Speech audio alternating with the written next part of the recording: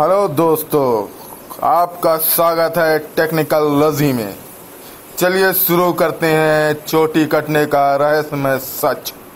आखिर क्यों कट रही थी चोटी?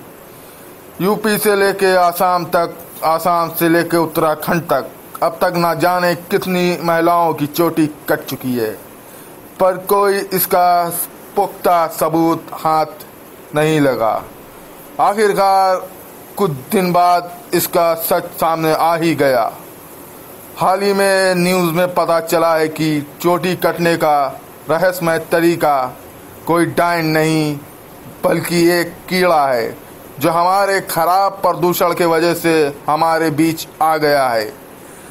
जो ये कीड़ा है, सर पे बैठ के डंग मार देता है, जिसकी वजह से महिला बेहोश हो जाती है और धीरे धीरे उसकी चोटी काट देता है, जिसकी वजह से चोटी काटने वाला डाइन का कोई खुलासा नहीं हो रहा था। इसलिए मेरी गुजारिश है, सब माँ बहनों से अपने सरों को ढक के रखे, ताकि उनके साथ ये हादसा ना हो सके। धन्यवाद। सब्सक्राइब करना ना भूले टेक्निकल रज़ी को।